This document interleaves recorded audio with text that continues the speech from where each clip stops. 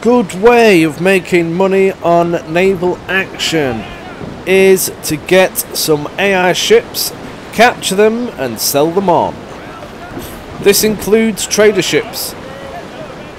A trader's brig, for example, can be sold for around 100k per ship in KPR. They're a little boat which any player can get even if you don't have much crew. So this works for everybody and is a good way to start. An LGV, which is what this ship is here, I'm not sure what I can get for that personally on the market, but it'll be a good amount. With it being a trader, anybody can take these out. All you have to do is sit on the arse and slow it down. Once you've slowed it down, however, you must make sure that you have more crew than the enemy ship, otherwise the AI does, does lots of funky things and tends to screw you over. If you have more crew than AI when you board, it is much more predictable, so it is much easier to win the boarding. You want to try and get a few stern rakes in. So this is also, also good practice for PvP.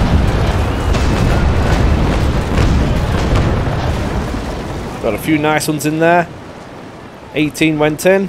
See the structure has been demolished from that one broadside and the crew has also been hit quite hard. Try and get in as many stern rakes as you can without sinking the ship. Trying to go for a load of chain now. You want to be doing this from bow to stern if possible.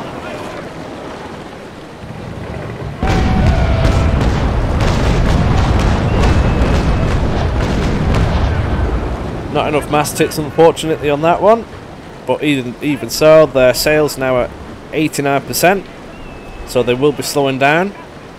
AI traders always sail away from you, so if you do not engage them on the side of their ship, they cannot hit you and will you will not take any damage. So this is risk-free almost. So if you're fairly new to the game or just fancy an uh, easier experience for a small time, get some traders. You can still make a lot of money doing this easily. Word of advice, if you're going for traders, make sure that your BR is lower than theirs as this will help you in terms of being ganked from an enemy player if you wish to do this alone. Another load of chain in there, still have it demasted, not got the mast shot. Personally, I've never been the best at demasting, but I've still got 13 mast hits on there. Somehow one of them hasn't hit. The damage must have just been spread about.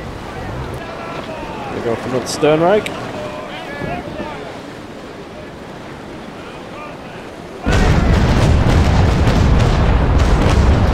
Little high on that. Never mind. Plenty of mast hits though. Still haven't took one down. Must admit, I am using this opportunity as well to get my demasting skill up a bit as that is one of my weak points. This can also be done for you as well, for newer players who are practicing or you want or older players which are just trying to spice up their skill range. Returning players, you may be surprised to know that the game has changed again. Uh, if you've not been on for a while, I would strongly advise getting used to the game again. Six more mast hits, still hasn't gone down. Actually quite surprising there. Ideally, if you're going to be trying to do boarding actions, you're going to want to get carronades on there as they do the most crew damage. The ship I'm using is the Pandora. This is a DLC ship, it's just easier for me. It, this ship is actually equipped with lots of little two pound cannons. You can't really see them on here. Oh, there they are. Swivel guns. Excellent for boarding actions.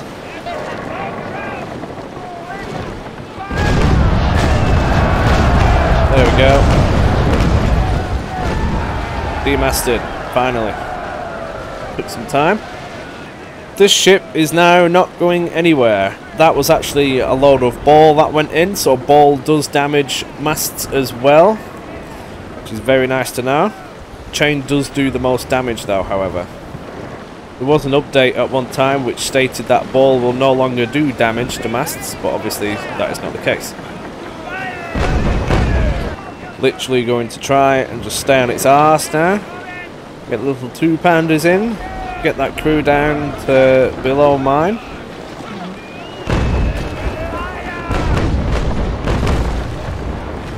I want a little bit more leeway first. bear in mind if you get too close to the enemy ship and it has more crew than you, it will attempt to board you.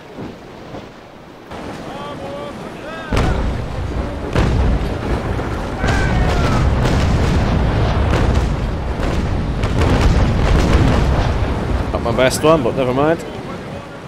I've got grape loaded on the starboard side. I will be trying to go for one more stern rake with grape. That should be then enough. I'm going to start getting my boarding crew ready as well. When you are getting ready for boarding, I strongly advise you turn off turn off your other cannons which you don't need. For me this is F5.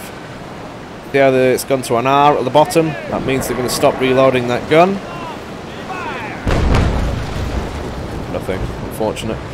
And uh, it means the crew then can then go on other things. You want to make sure your prep is up as much as possible. Mine's now reaching 100%.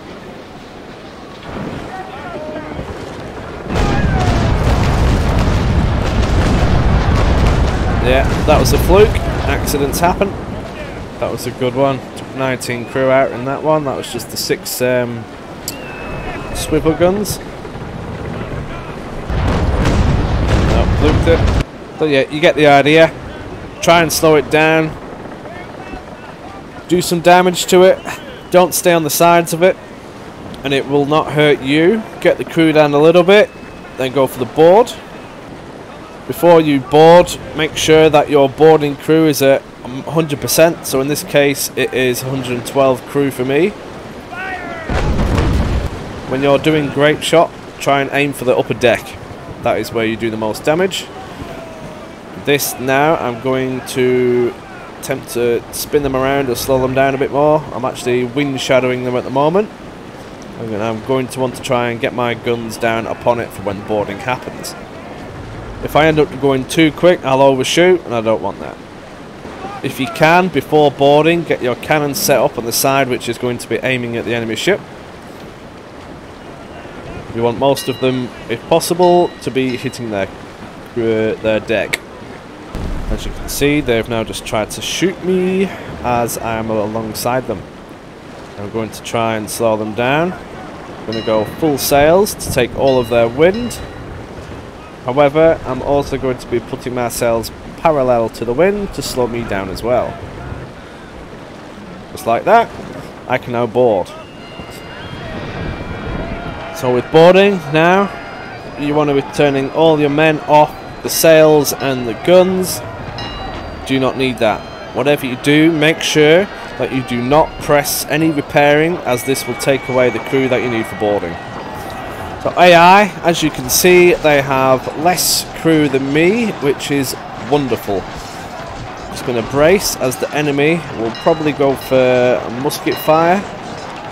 No, fire grenades. Okay, so in this you will see what the AI does continuously. I'm just going to leave it on brace. While that's doing, you can use the bracket keys to fire your guns.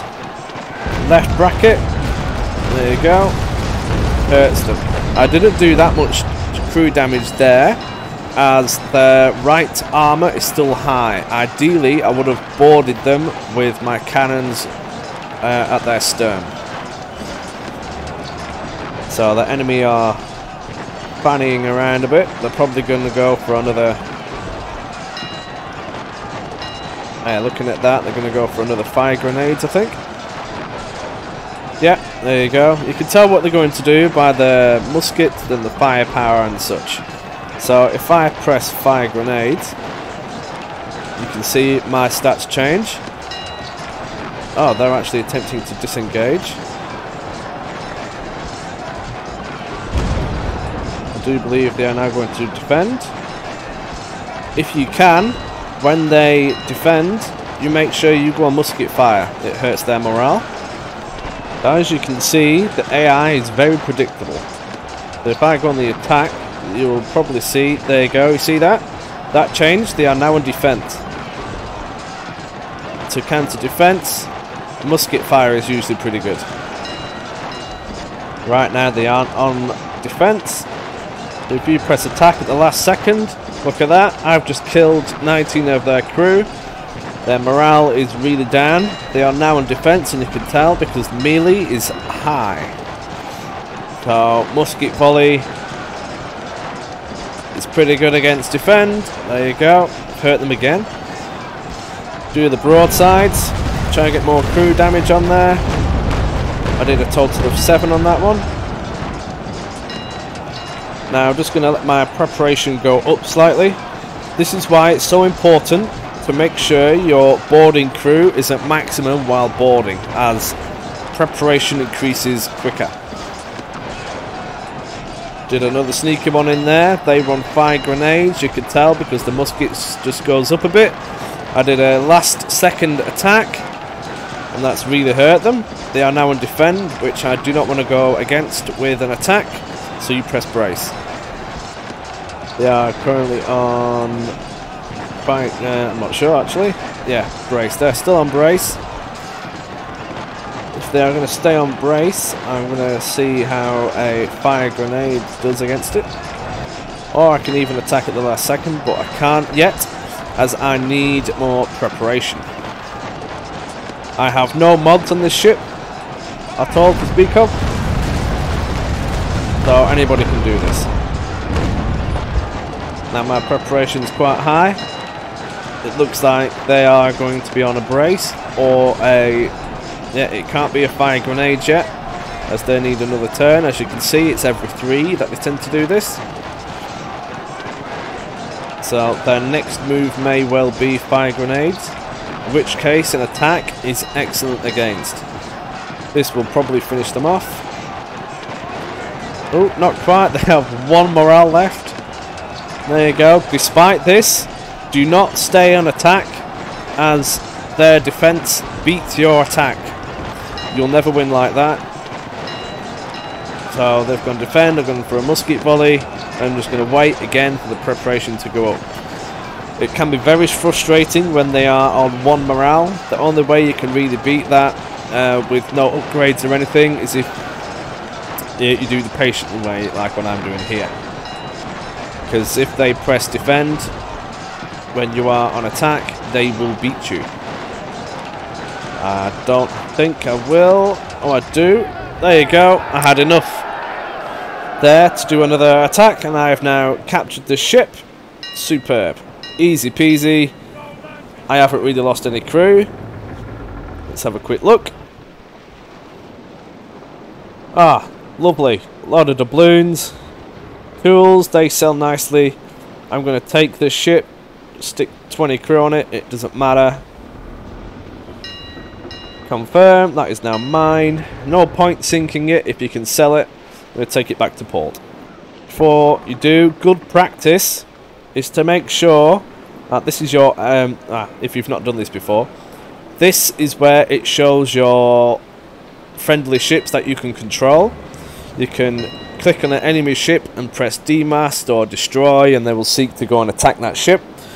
Good practice, however, is to make sure that your friendly ship has left the instance before you leave the battle yourself. As if for whatever reason you leave and your ships cannot leave, then you will lose that ship automatically. So always make sure you press retreat first and it will disappear just like that. So that ship was currently around Pittstown.